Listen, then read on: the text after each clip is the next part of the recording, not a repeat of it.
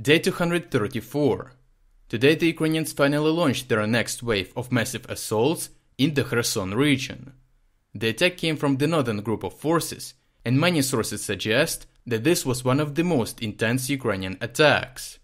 Russian independent media already raised the alarm because apparently this is only the first wave and the Ukrainians engaged only a fraction of their forces.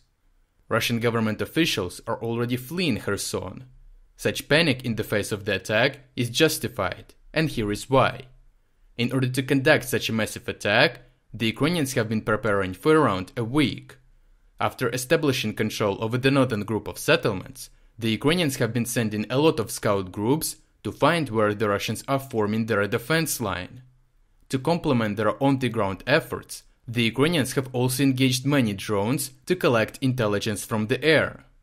Once this preparation stage was completed, the Ukrainians increased the intensity of their attacks by conducting combat reconnaissance. They pushed the Russians along the front line to test their fortifications and to find weak spots.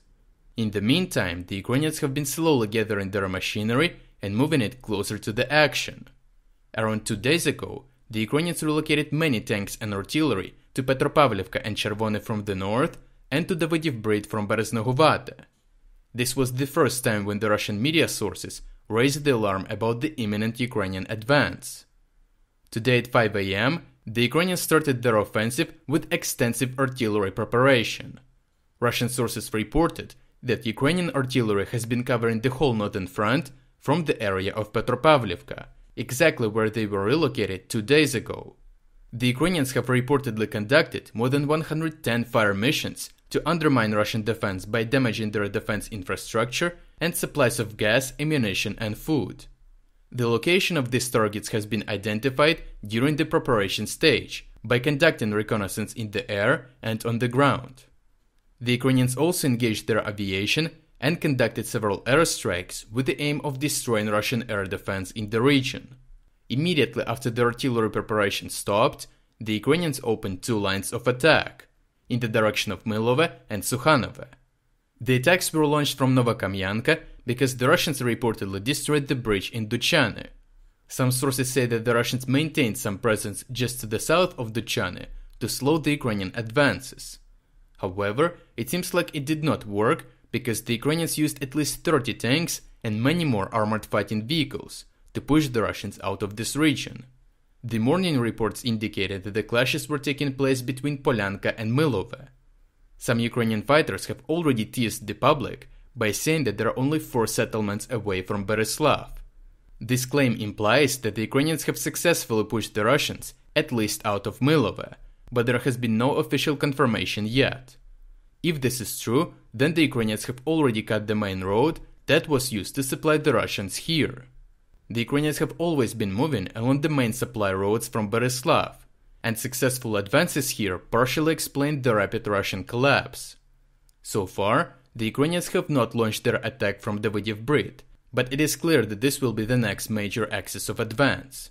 That is why, despite reporting tough fights, Russian sources also cautioned their military to not get caught in the moment, because the Ukrainians are using only a fraction of their reserves and can open more lines of attack at any time. This is in line with what I told you yesterday. A successful advance from Brid will serve as a catalyst for the battle for Kherson, because it will set the conditions for the attack from Tarnovi Pode, and the Ukrainians here have already pulled their reserves closer to the front line. Overall, the Ukrainians have identified three main areas where to strike. Right now, they are not trying to storm Snegurivka or get closer to Kherson because it would be inefficient. Instead, the Ukrainians are building their tactics with the primary goal of shortening the front line, and a shorter front line will allow the Ukrainians to exploit their main advantage manpower superiority. Some sources say that the Ukrainians engaged around 60,000 troops in the Kherson region. This is a very big number, and it explains why the Russians have already started evacuation in Kherson. However, they're not evacuating people, they're evacuating Russian government officials responsible for the Kherson region.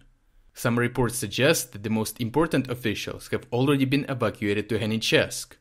All of that signals that the Russians are not very confident in their defense.